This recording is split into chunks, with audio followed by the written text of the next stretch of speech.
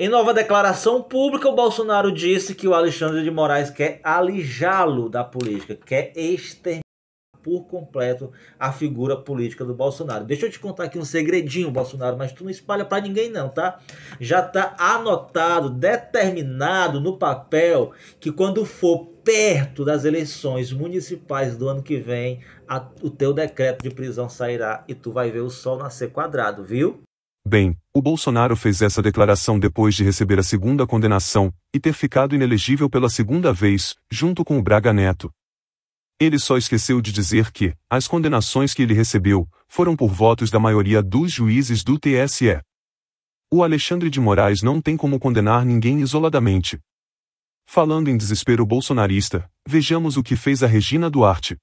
E a Regina Duarte postou um vídeo no qual aparentemente a plateia xinga o Nando Reis quando o Nando Reis começa a criticar o Bolsonaro.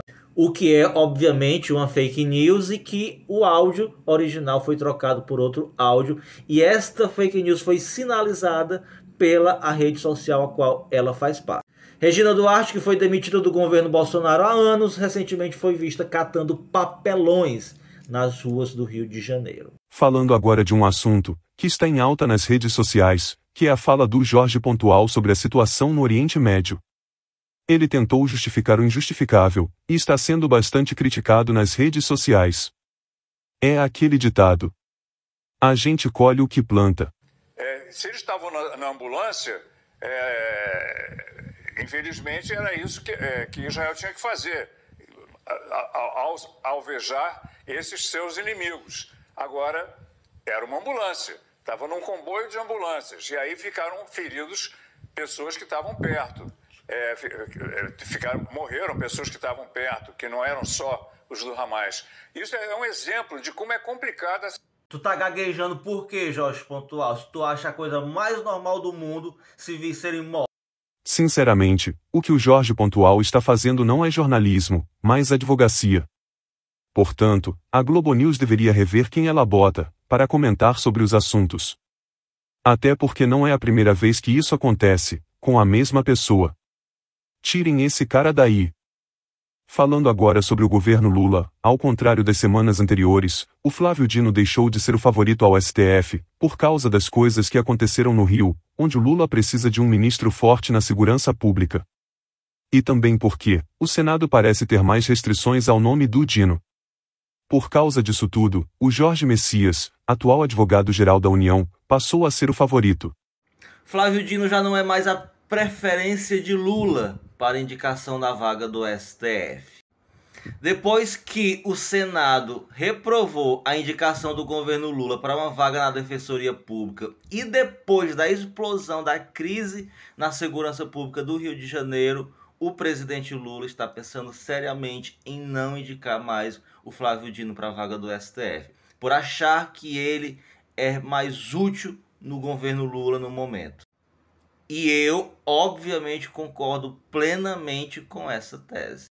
Porque é o seguinte: se o Flávio Dino sair do Ministério da Justiça, o Lula vai ter que desmembrar esse ministério em dois: Ministério da Justiça e Segurança Pública. E tem muita gente despreparada e desqualificada para assumir o Ministério da Segurança Pública. Dentre eles, membros do PT e membros do Centrão. A gente sabe que esses dois grupos, PT e Centrão, de justiça e de segurança pública, eles não entendem nada, infelizmente. Além do fato de que o Flávio Dino é rejeitado por uma grande parcela de senadores, tanto da extrema direita como do centro e da direita tradicional. Eles têm medo do poder que o Dino terá ao ser ministro do STF. Já diz o ditado: quem não deve não teme, mas essa é outra história, é outro assunto. O presidente Lula colocar a questão da segurança pública nas mãos da esquerda do PT ou nas mãos do Centrão é um baita tiro no pé. A pessoa mais preparada para cuidar disso chama-se Flávio Dino. Então eu celebro esta notícia de que Flávio Dino permanecerá no Ministério da Justiça, permanecerá no governo Lula, onde ele tem muito mais serventia do que estando no STF. Lembrando que os militares queriam Flávio Dino no STF, porque ele sairia do Ministério da Justiça, e isso seria melhor, na visão dos próprios militares, para generais do tipo Braga Neto, Heleno, Eduardo Ramos, e etc. Quem deve estar comemorando é o Flávio Bolsonaro, que não queria o Flávio Dino como juiz do STF. Falando nisso, ele agora está elogiando o governo Lula, por causa da GLO. E aí, meus amigos bolsonaristas, como é a sensação de ver o filho do inelegível elogiar o governo Lula? Mas do que, que eu estou falando especificamente? O Lula criou uma.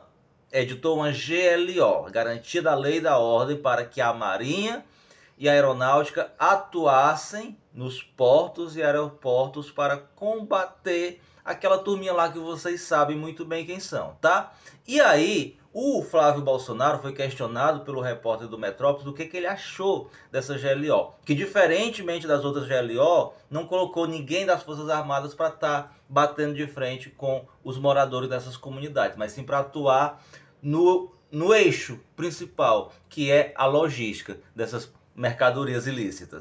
E aí o que o Rachadinha respondeu foi: olha, o governo fez o que o Cláudio Castro pediu. Qualquer ajuda é bem-vinda.